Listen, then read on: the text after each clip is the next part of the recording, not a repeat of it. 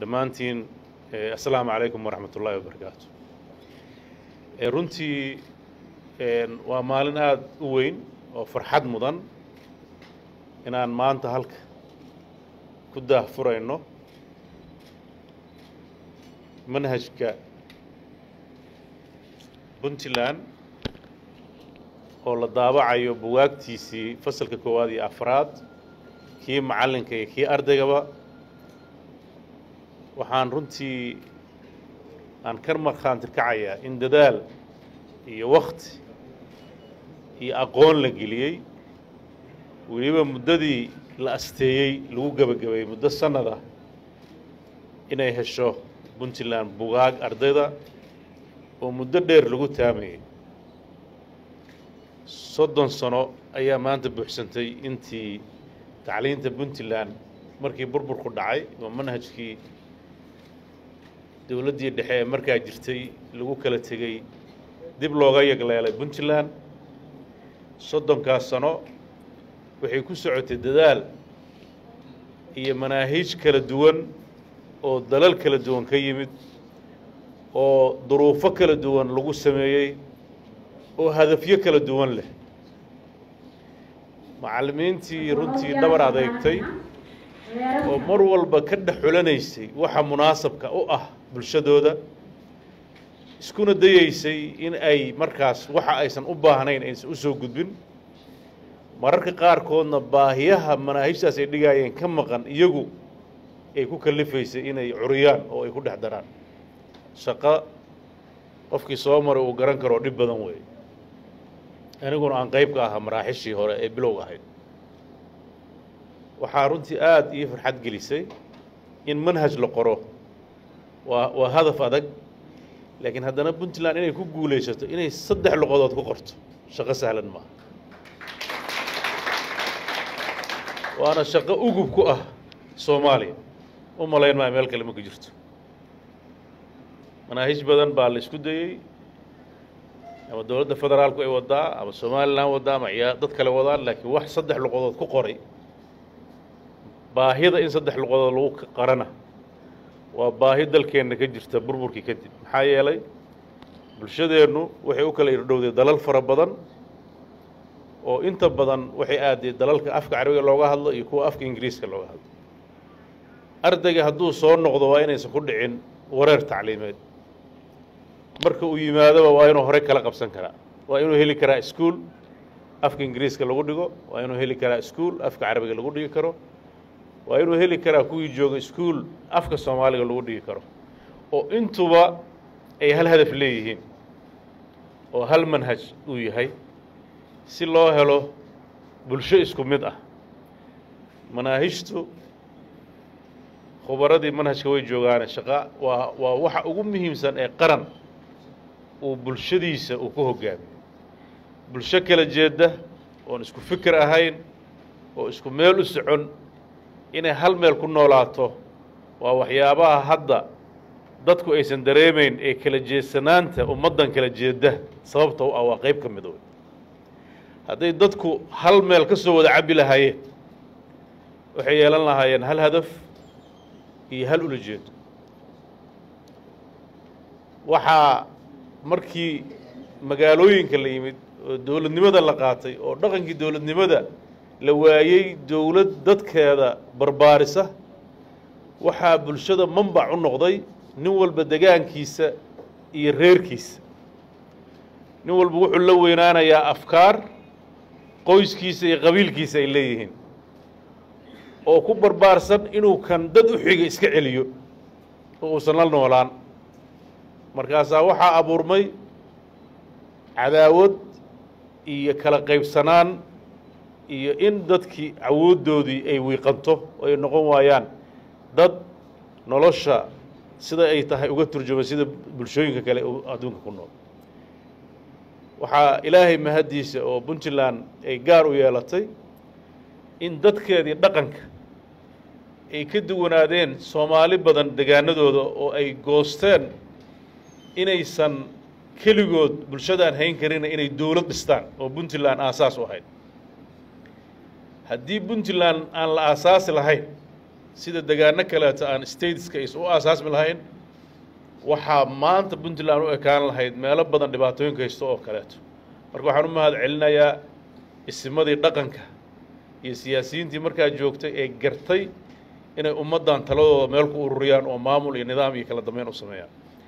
Taasaa maanta saldhig u noqotay in manaahiijtan la qoro in tacliintu korodho in weliba tacliinta qoran keliya aan lagu daynay haddana iyada oo sida adduunka u socdo maqal iyo muuqaal ah la dhammaystiray laba-iyo tobanka fasal ee dugsiyada aasaasiga ah ee dugsiga hoose dhexeeya sare oo weliba ku qotonta manhajkan guud ee hadda aan ka hadalnay ee horey u yaalay qolfoofkiisa laga soo bilaabo laba kun iyo koob iyo tobankii. Dabcan markii aan xil ka imid sida uu sheegay cabduqaadir meelihii ugu horreeyey aan booqdo waxaa ka mid aha wasaaradda waxbarashada. Waxaan la socday in qalfoofka manhajka uu jiro laakiin textbook hadduusan jirin ama buugga macallinka uusan jirin qalfoofkaas macno ma yeelanayo maxaa yeelay macallinkii qalfoofkii waa loo sheegay laakiin referenceskiisa ama meeshu wax ka soo qaadanaya waa buug kale.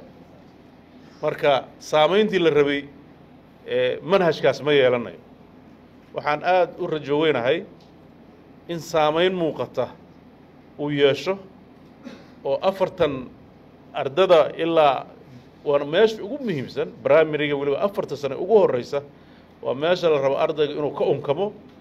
Ilaahay idankiis waxaan rajeynaya sanadka soo socdana inuu dugsiga hoose dhexe dhammaystirmo sanadka ku xigana dugsiga sare inuu dhammaystirmo. Haddii fursad loo heelana in la isku wadi doono. Dabcan khubarada waktiga geliyey oon hadda aan ka arkaynay documentarygii ay soo bandhigeen inay shaqo sahlanayn cid walba oo aan markaa horey u ogeyn hadday arki kartaa maxaa yeelay waa shaqooyinka ilaa ay soo baxaan aan la arki karin. Waa shaqooyin runtii dhib badan wakti badan galay juhdi badan galay maskax la tuujiyey iyo in la isbarbar dhigo manaahiijta dunida casriga ah iyo manaahiijta gobolka aan ku naanno lagana soo saaro manhaj applicable u ah marxaladda annaga aan marayno. Ma ma shaqo fudud maaha dad ka shaqeeyaa garan gara.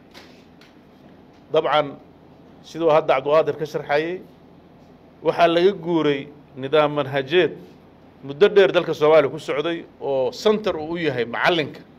Waxa uu ardayga siiyo keliya waxay u guureen siduu halka sheegay nidaam manhajeed saldhig uu yahay ardayga oo la rabo in waxa ku jira laga soo saaro.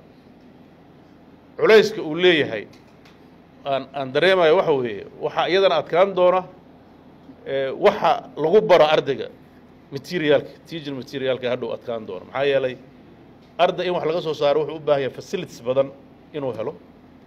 Awooddeena dhaqaale weli waa limited ad arkayseen sabuuraddii iyo jeesadii un baa la haystay iyo kuraastii sidaa u safnayd manhajka a qaadatay naftarkiisa wuxuu yaraynayaa ardayga galaaska galaya tiradiisa wuxuu yaraynayaa habka ay u heli doonaan waxa ay ku dhigan doonaan galaaska.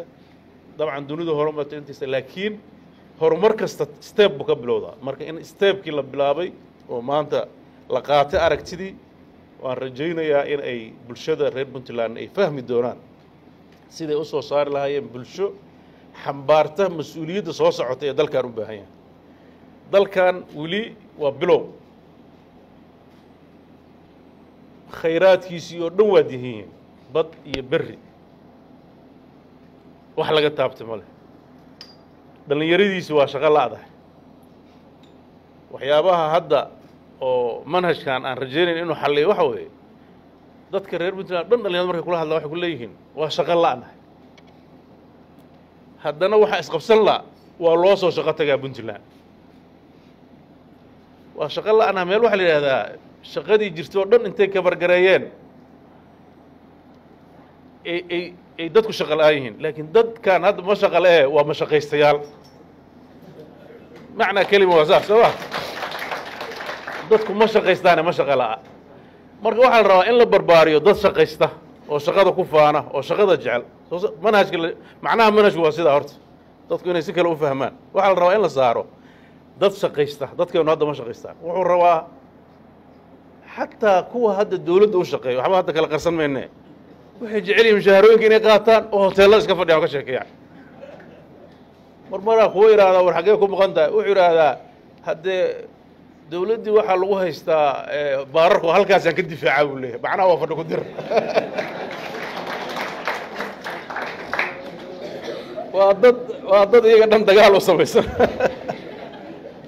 Si productionka loo qiimeeyo xataa ma garanayso. Ya? Hadda waxaaba ka daran kuwii awal baararka iyo social bayaad meel ka difaacayade hadda intuu guri isku xidho wuxuu leeyahay facebookaan ka difaacay.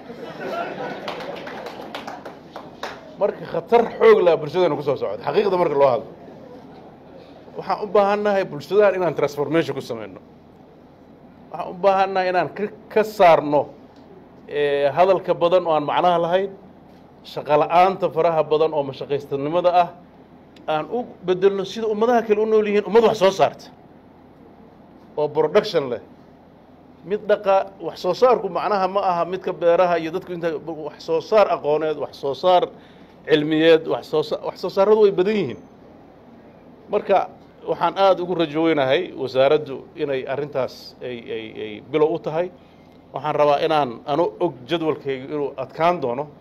Lakiin waxaan rabaa inaan ku dhiirado inaan iclaamiyo wasiir juxaana waa ii muuqdaa. Guddi ka mid ahaa aan u xisaarnay in ay educationka puntland ay ku sameeyaan review ama inay dib u eegaan. Dib u eegiddii way soo dhammeeyeen waxaan u baahannahay inaan go'aanno qaadano. Si aan go'aanno u qaadano waxaan u baahannahay dad badan inaan ka qayb gelino. Waxaan rabaa inaan labaatanka juulaa iclaamiyo in la qabto forum ama madal educationka puntland looga hadlayo oo dib loogu qiimeynayo go'aanno waxtar u laha dadkaan lagu qaadan doono. Waxaan rabaa inay guddigii iyo wasaaraddu ka wada shaqeeyaan siday u hirgeli lahayd in laysu yimaado labaatanka ciddii ka soo qaybgeli lahayd wixii looga hadli lahaa iyo sidii loo agaasimi lahaa. Arrintaas waa muhiim maxaa yeelay manaahijta la qoraayo macno yeelan mayso. Haddaysan wasaaradda iyo nidaamkeena educationku uusan la korin habkaas aan u guurayno inay u qaabaysnaato. Wasaaraddeennu dabcan waa soo dadaashay muddadii ay soo jirtay habkaa hore ay sheegaysay iyadoo ruuxaddeeda ku shaqayn jirta. Marka waxaa la rabaa in habka dambe loo guuraayo inay wasaaradduna la guurto. Qaab dhismeedkeeda shaqo iyo wacyigeeda sidoo kaleeto waxaan runtii maanta ku faraxsannaa inaan wasaaradda oo design qurux badan markay dhammaato yeelan doonto laakiin blogskeedii qayba qaybaheedii qaybtii u horreeyey aan maanta soo furnay qaybtii labaad qaybtii aan soo furnay manaahijtahay soo mahay qaybtii imtixaanaadka maanta soo furnay qaybta manaahijtana maanta aan dhagax dhignay qaybo kaleetana waa ay ku xigxigi doonaan si wasaaraddu ay mutakaamil u noqoto oo ay u noqoto wasaarad ka turjumi karta. Waxaan aan u rajaynayaa puntland iyo tacliinteeda in ay noqoto hormuud inay noqoto tacliin ku tillaabsata dhinaca tayada iyo tiradii wada socoto la wada gaaro inay dadka ardada reer puntland oo dhan inay xaqooda tacliinta inay helaan. Intii la kari karo iyo hadda awoodda waxaan uga mahad celinayaa waalidiinta reer puntland oo aan ogahay iyagoo duruuf adag haysata inay marna ka caajisin inay ciyaalkooda iskuulaadka u diraan. Iyagoo ogahay inay ku adag tahay dhaqaalaha ay ku bixinayaan. Marar badan ayaan waxaa maqlaa dhaqaalaha hay'adaha naga caawiyo. Arrintaas sax ma ah seventy percentage oo ka badan dhaqaalaha tacliinta ku baxa puntland baa bixisa. Ama sagaashan boqolkiiba soo saas maa waalidiin iyo dowlad isku jirtaa bixisa waxaana laga kabo waa wax yaroo kaba laakiin waa intii muuqaalka lahayd. Dhismayaal farsamo waxyaabahaas wey laakiin running costiga ku socda tacliinta waxaa bixiyay dadka reer puntland. Aad baan uga mahad celinayaa runtii. Inay isxilqaankaas sameeyeen dhabar adaygaas sameeyeen inay sii wadaanna waa waa muhiim. Mararka qaarkood waxaa la yidhaahdaa dowladdu ma bixisa dabkaa bixiya. Waa isla meeshi dadkuna canshuurta haddaysan bixin. Haddaa canshuurta nagu soo wareejisaan annaga inaga bixinayna wax isdiidan ma leh. Hadda idinkaa wixiina sii haysta wixiina yaa ku sii bixisaan. Marka fursado wixii waa isleh wax kala duwan ma aha. Dowladdu xaggee lacagta ka keentaa shacabka ka keentaa sooma cirka kalema imaanayso. Marka inaan isku tashanno mar walba way habboon tahay. Laakiin inaan hadba wixii la qaban kara la isla qabto ayaan aada ugu rajo weynahay. Waan uga mahad celinayaa runtii hay'adaha unisef iyo sef the children oo aada hay'adaha ugu dhow ah iyo global g b e oo maaragtay partnership for education ya. Iyagana waan uga mahad celinaynaa inay ay qeyb ka qaateen. Iyo ya. Iyo e u da dhammaan hay'adaheeda kala duwan oo oo iyo world bank iyo hay'adaha ka qeyb qaata dhammaan tacliinta reer puntland. Iyo tan soomaaliyaba guud ahaan runtii arrintan waxaan ku sii dhiirigelinayaa wasiirka iyo tiimkiisa inay hore u sii wadaan.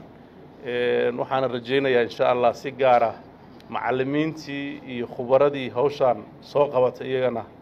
Waxaan leeyahay maanta waxaad gaarteen tallaabo lagu farxi karo. Waana rajaynayaa in daabacaaduna sidii loogu dhammaato ardadan ay u gaarto buwaagta sidii loogu qorsheeyey kuwa kalena wakhtigii loogu talagalay ay ku dhammaato sannadkii aa qabsateen sidaa halka uu sheegay waa joogtaan. Berri bay ahayd laakiin sanadku markuu dhammaanaya maalinta ka horreysa wey marka maantay ahayd inuu sanadku gebagaboobay toddobiyo tobankii juun laba kun iyo labaatan baa baa la bilaabay soomaaliya daafurkii maalintu ah marka maantana waa lix iyo tobankii juun laba kun iyo koob iyo labaatan.